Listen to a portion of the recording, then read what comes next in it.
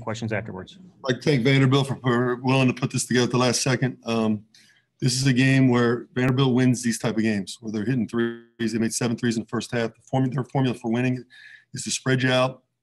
Uh, hope you make mistakes uh, offensively and turn the ball over, and then just bomb threes and have you chase all over the place. And Pippen was the best player on the floor. So uh, that's their formula for success. I saw it happen in the first half. Uh, I knew it as it was happening. Unfortunately, we weren't able to stop it. Um, you know, at the end of the day, every game means a lot. We want to get better. It's not the best team that wins in conference tournaments. Uh, it's the team that's playing the best. So we got to get back to playing really well. I thought this started in practice with a little lack of discipline this week. I thought we practiced hard. I thought we practiced with energy, uh, but we're not we're not disciplined enough defensively. You know, I'm trying to I'm trying to, you know, help our guys get through the tough patches here, um, best that I can. But sometimes you know we're, we're going to have to we're to have to be a little bit more more uh, a little more tough defensively, uh, a little more demanding. John, any update on Mikey? Mike uh, sprained his foot or ankle. Uh, not sure what, which one at the last play of the first half where he drove baseline and threw the ball across the court. Obviously, without Mike, that really hurt us in the second half. Uh, Mike had to play 40 minutes at the point guard position, which is very difficult, and he was done at the end, uh, as he should because he plays so hard. Um, so, you know, we just don't don't don't don't have a lot of bodies right now.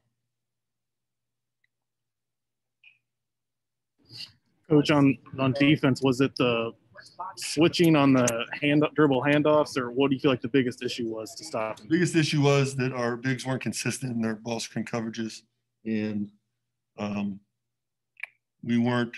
I didn't do a good enough job getting these guys to get up high enough to where Pippen had to play side to side instead of downhill, where he can make everybody else better. He's, he's really good.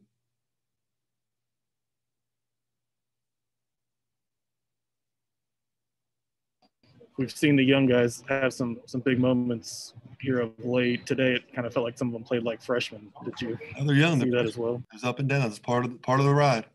Part of the ride, and, and I know that. I don't know they do. You know, we're trying to teach them that. That's just kind of it's, it's part of life as a freshman. You're going to go through ups and downs.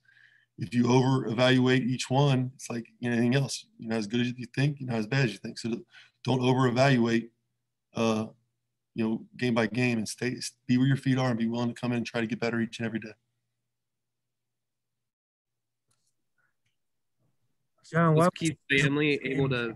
Why was scheduling this game important? Why was playing tonight important to you? I just I thought we already went off. We already had a week off last week before we played the Houston game two weeks ago. I felt like it was important for our guys to play. I mean, they came here to play, and I want them to play games. And listen, guys, I mean, mo, mo, I mean, most coaches would have played, you know, Thomas More or something like that. We brought Vanderbilt in here, so I think I think we've shown from the beginning. You know, it's it's not about it's not about for me right now the final score. It's about and it will be, but it's about it's about the growth of this program and, and getting those young guys where we need to get them and trying to do the best we can with our older guys and prepare ourselves for next you know next Friday at three o'clock. Do you feel you can still take benefits from this, whether it's showing them things on film or Oh, absolutely. Yeah, in, in our preparation.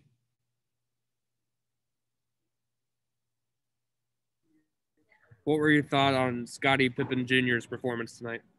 I mean, I mentioned already. I told you what I thought he was, and uh, as far as his, I mean, he just creates so many opportunities for his teammates. He's got tremendous pace. Um, I think he knows how to lean his body certain ways. I think he knows how to.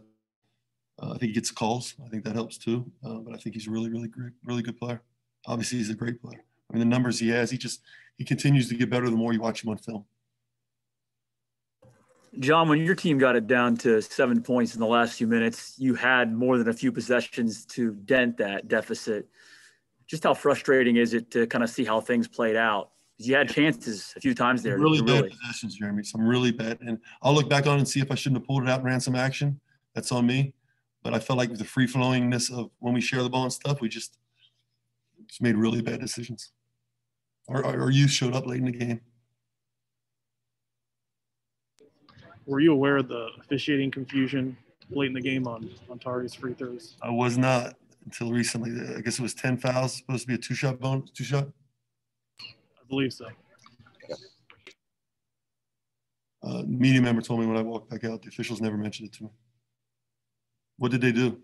Just changed it? Looked like there So the scorebook had nine. It was ten. Yeah. Last week we had a, How se- much- we had a- last week we had a 10 second uh, backcourt call. It was only seven seconds on the shot clock. So we got to we got to clean up some areas. How much John, of I that at the end? How much at the end of that second half do you just think was fatigue, uh, with you know playing shorthanded and especially with not having Mikey for that that second half as well? Yeah, you got uh, Shuey at 40 minutes, Jeremiah at 37 minutes. Those guys play with a ton of energy. Mason Madsen is playing 32 minutes.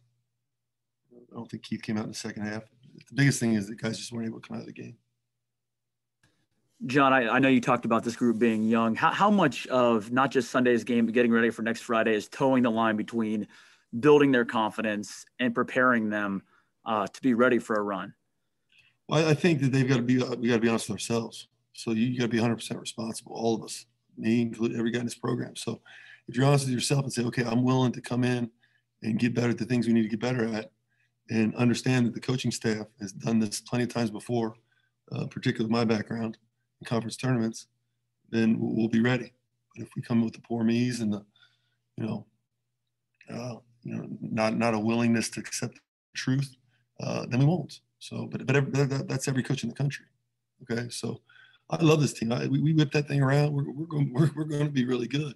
It's just we make poor mistakes, and right now uh, we don't we don't defend when we need to, and some of our you know you know on the court decision making is uh, a lot less than desired.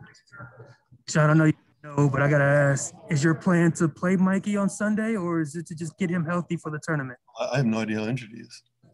It's possible for me to answer.